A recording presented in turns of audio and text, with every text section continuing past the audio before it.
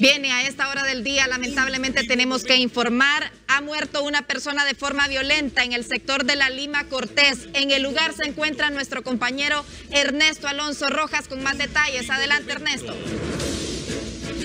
Gracias, gracias compañeros. En los estudios televidentes Diable como habla, televisión digital se genera un hecho, bueno, se encuentra el cuerpo de una persona flotando en las aguas del río El Sauce.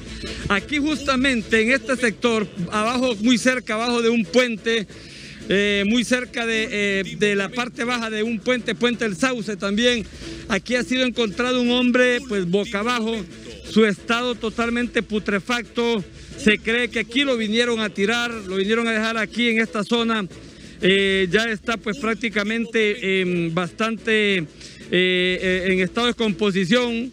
Esta persona viste una camisa azul fluorescente, está boca abajo el cuerpo de esta persona, televidente en todo el país, donde ya han llegado los miembros de la Policía Nacional a hacer el respectivo levantamiento.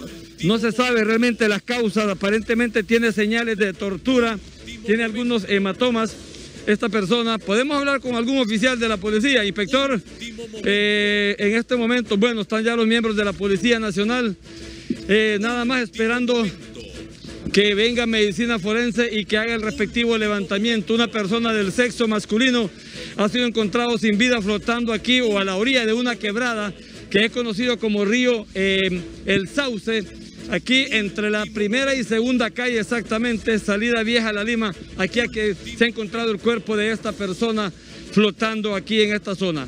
Con el niño en cámara, presencia informativa y noticiosa en los estudios a esta hora.